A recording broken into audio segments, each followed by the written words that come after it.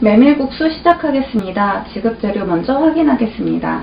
메밀국수, 무, 실파, 김, 고추냉이, 가다랑어포, 건다시마, 진간장, 백설탕, 청주, 맛술, 갓 얼음입니다. 요구사항에 소바다시를 만들어 얼음으로 차게 식히시오 라고 되어 있습니다. 가다랑어 국물 내고요. 거기에 간장, 청주, 설탕, 미림 넣어서 소바다시 만들고 시험장에서 얼음 나오면 그 반으로 식혀주시면 되겠습니다. 그럼 나머지 반은 요구사항 두 번째처럼 얼음으로 면을 차갑게 식히라고 되어 있습니다. 그래서 얼음을 반반 나눠 사용하시면 되고요. 메밀국수, 양념, 소바다시를 각각 따로 담아내래요.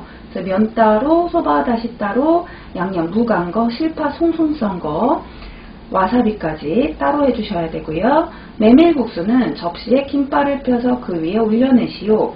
시험장에서 김발이 나오면요. 그 위에 올려내시면 됩니다. 김은 가늘게 채 썰어서 메밀국수에 얹어내래요. 그러면 김을 가늘게 채 썰어서 저희 튀김 두부 할 때처럼 올려주시면 되겠습니다. 자, 먼저 가다랑어 국물 만들어 보겠습니다.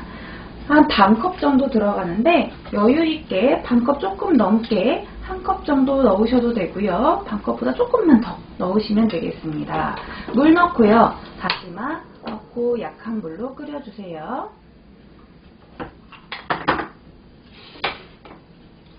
자, 시험장에서 김이 나오면 물에 젖지 않게 비닐봉지에 넣으시고요. 메밀국수에서 건 그렇게 많지 않습니다. 무 갈 거랑요, 실파 송송, 와사비 개는 거 정도 있습니다. 자, 그러면 저는 실파 썰어 볼게요.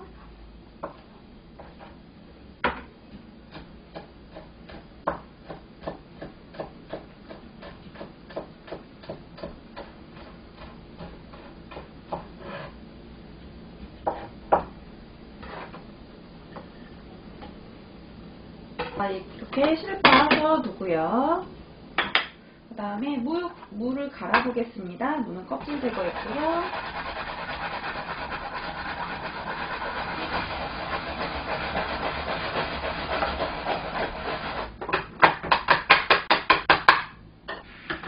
자, 물은 갈아주시고요.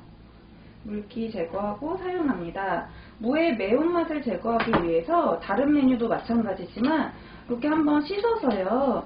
네, 매운맛 제거하고 사용하시는 것도 괜찮습니다.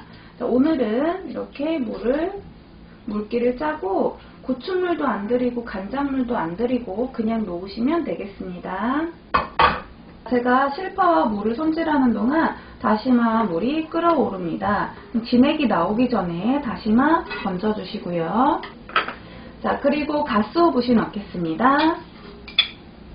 가스오브시를 넣고 불 끄고 기다리셔도 되고 아니면 한 5분 정도만 끓여가지고요. 바로 걸러주셔도 됩니다. 자, 그럼 와사비 개어볼게요.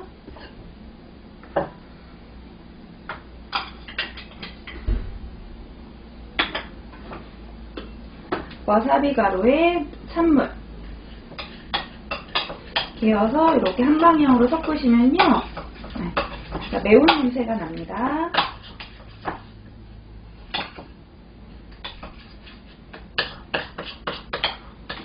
그래서 뭉쳐서 우리 실파, 무랑 같이 놔주시면 되겠습니다. 모양 내셔도 되고요. 그냥 비슷하게 깔끔하게만 올려놓으시면 돼요. 자, 가다랑어뽀가 한 5분 정도 끓었다면요. 이걸 면보에 깨끗하게 걸러줍니다. 자, 그리고 메밀국수는 차갑게 먹는 음식이잖아요. 그래서 소바다시를 먼저 끓여서 식혀두셔야 됩니다. 가다랑어 국물 반 컵에 설탕 하나, 그 다음에 미림 하나,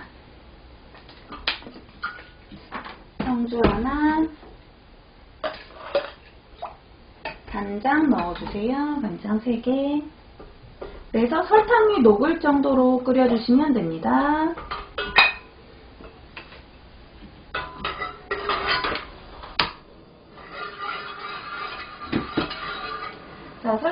모두 녹았다면 이제 식혀주셔야 됩니다. 시험장에서 나온 얼음을 반으로 나눠 놓으시고요.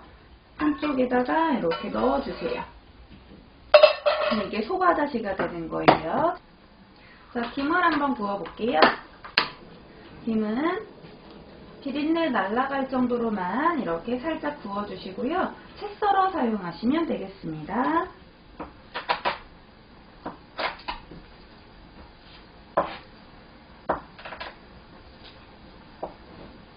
비벼 써는 것보다 이렇게 끊어주시면서 써는 것이 훨씬 더 깔끔하게 잘 잘라집니다. 또는 가위나 대박칼 쓰셔도 됩니다. 자, 김이 물이 젖지 않게 계속 비닐봉지에 보관하시거나 물기 없는 그릇에 놓아주세요. 자, 그럼 메밀국수 면 삶아보겠습니다. 면이 이렇게 조금 뭉쳐져 있다면요. 풀어주시고 자, 끓는 물에 면 넣을게요.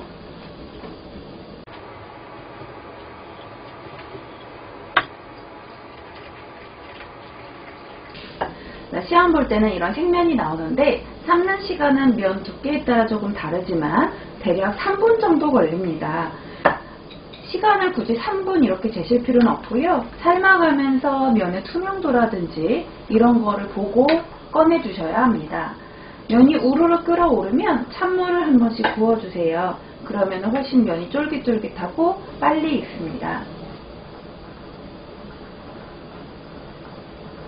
자, 이렇게 끓으면서 넘치려고 할 때 찬물을 반컵 정도 확 부어주시면 되겠습니다.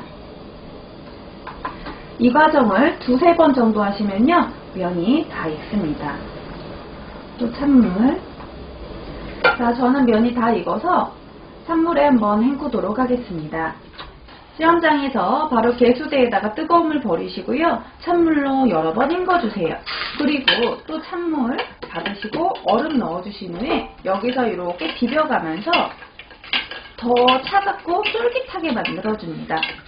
요구사항 두 번째 얼음으로 메밀국수를 차게 식히라고 되어 있습니다. 요 과정 하시는 거예요. 자, 그리고 시험장에서 혹시 김발이 지급이 되었다면 김발 접시 위에 담으시고요. 바로 살이 틀어줍니다. 한 두 개나 세 개 정도 면을 잡아주시고요.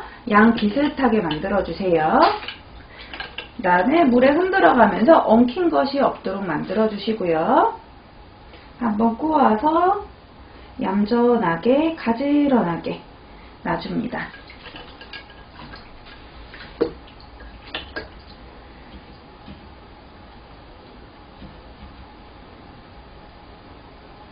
그럼 면을 김발 위에 이렇게 올려놓았고요. 소바다시, 그 다음에 어, 송송 썰은 실파, 와사비, 무 되어 있죠? 지금 하나 안 넣은 것 있습니다. 김 구운 것이요.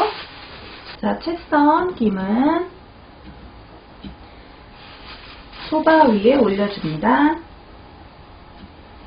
자, 이렇게 해서 메밀국수 완성되었습니다. 세 가지를 동시에 내셔야 되니까요. 시험 보실 때는 도마에 받쳐서 한 번에 가져가시면 되겠습니다. 시험 보는 지역에 따라 조금 내는 방식은 다를 수 있으니까요. 진행용의 말을 잘 따라주시면 되겠습니다. 완성되었습니다.